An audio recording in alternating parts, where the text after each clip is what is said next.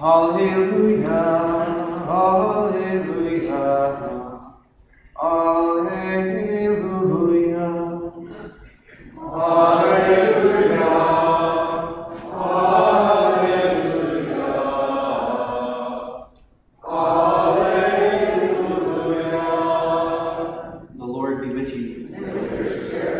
reading from the Holy Gospel according to John. God so loved the world that he gave his only begotten Son, so that everyone who believes in him might not perish, but might have eternal life.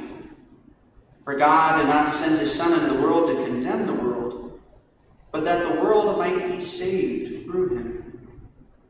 Whoever believes in him will not be condemned, but whoever does not believe has already been condemned, because he has not believed in the name of the only begotten Son of God.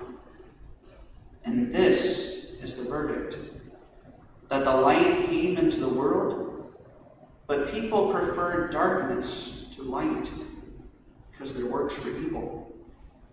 For everyone who does wicked things hates the light and does not come toward the light, so that his works might not be exposed. But whoever lives the truth comes to the light, so that his works may be clearly seen as done in God. The Gospel of the Lord. Praise to you, Jesus Christ.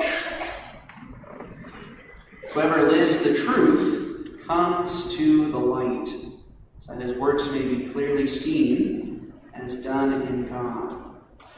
Uh, something that I just thought I would share with this morning is uh, when I was in seminary, I had a rector, and one of his uh, mottos, one of his phrases, every, every time you're in a seminary, the rector always has certain uh, catchphrases that he uh, lives by and encourages the seminarians to live by. And one of the things that uh, Father Becker, one of my rectors, said is he always told us to live in the light.